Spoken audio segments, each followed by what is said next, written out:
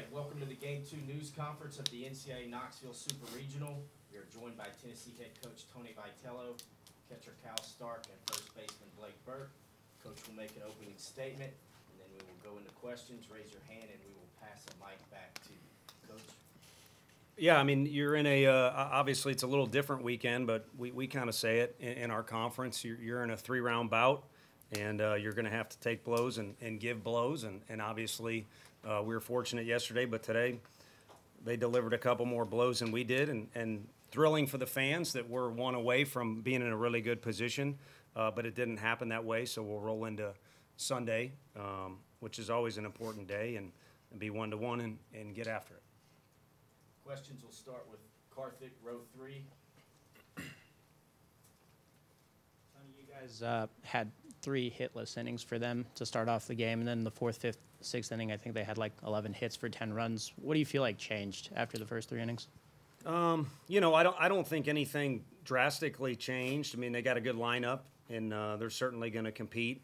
At no point are they ever going to go away easy. Um, so they were able to put some things together, and you know, you go back and anytime you make decisions with pitching, if it, you get some zeros or ones out of the deal, um, then it went well, and and maybe you made some accurate decisions. And if it doesn't, then maybe we could have made some better decisions in those situations. Sam, row four. coach throughout the season you had many like treating this like a weekend series you had many sunday games winner take all how much and you talked about how that will help you when it comes to tournament play how much do you think that will benefit you going with your season on the line tomorrow I think it's a benefit. I mean, you got the series on the line, is what you got, and um, you know it helps to have a vision of what it looks like, and it, it helps to have reps.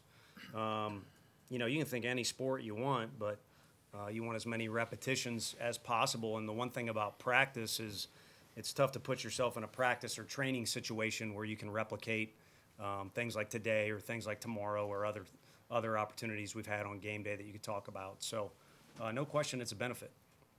Ben, far left. Tony and Cal, could you both speak to what you saw from Drew there those first couple of innings, and then maybe what spiraled for him those last couple of innings?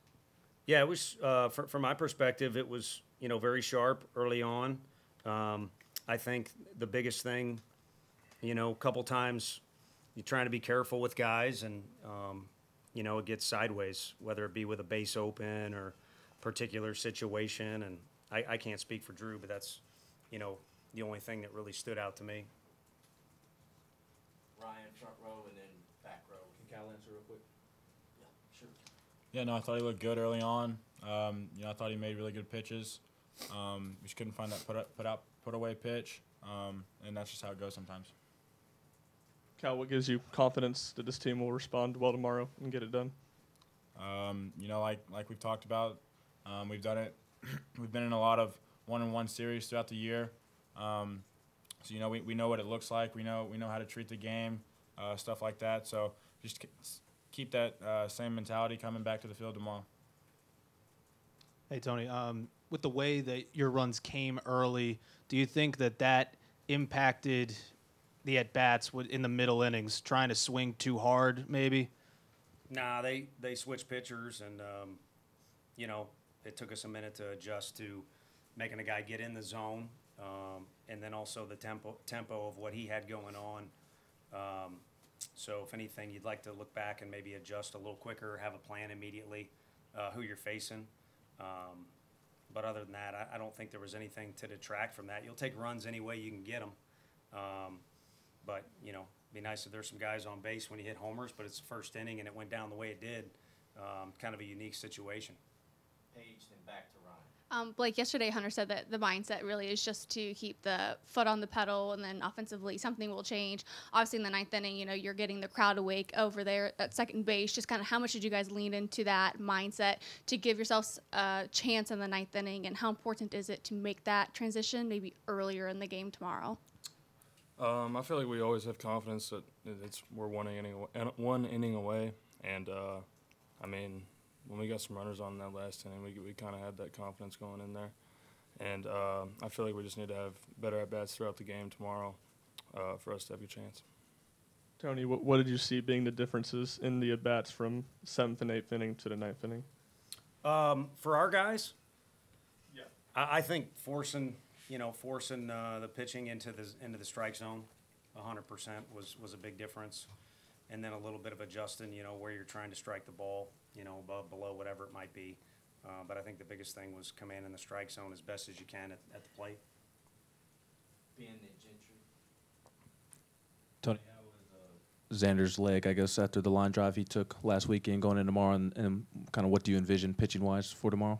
Yeah, he's good. I mean, he um, he obviously took that shot, was pretty good, and, and was bruised the next day. But it was kind of, you know, that Monday it was all laughs. At least I don't think it was laughs for him, you know, when it occurred. And I'm sure it stiffened up at some point, but has kind of been a non-issue uh, for the week. And and um, that's our guy in the locker room. It's our guy on the field. Uh, so he's got the ball, and we'll worry about the rest later.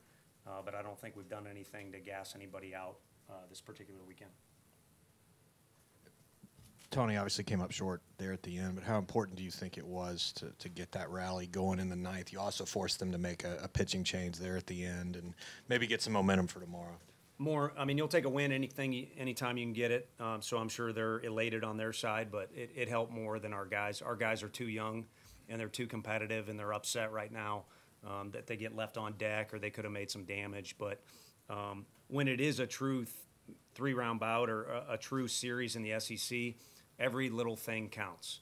And uh, fortunately, this year we had benefited from it, but there's also some series where we made it tougher on ourselves, um, or you know, not able to come up because of you know different pitches or innings that are involved in that. They all have weight to them.